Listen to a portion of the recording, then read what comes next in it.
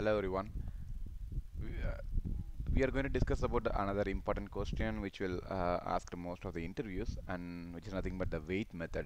What it exactly is it doing okay?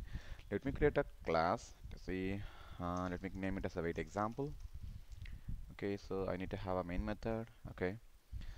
So let me write a program okay? So so when the method is called I need to call um, I'm going to print something like uh, 1 okay?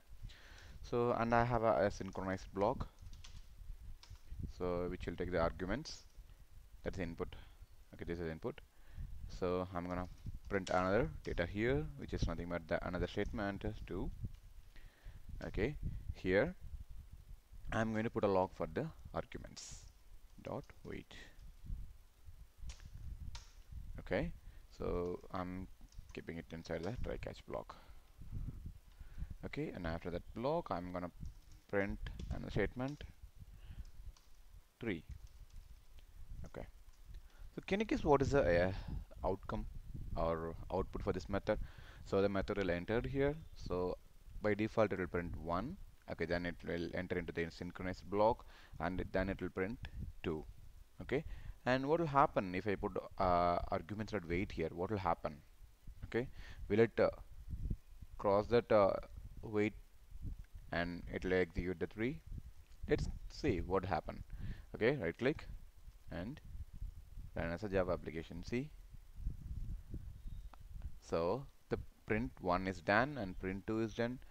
But here still we the process still the compiler is uh, it's waiting for print 3 it won't print. The reason is we provided the argument dot wait here okay but we didn't mention how long it has to be wait or in I mean to say uh, how long it has to wait here or we haven't provided any uh, time duration for that okay?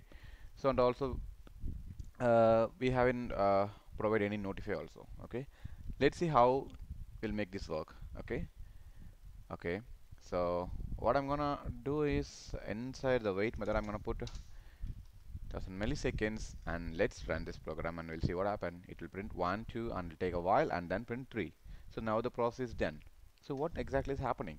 Because this part uh, once the uh, compiler or once the execution execution of the file when it is reached the line number 10 it went to the wait mode.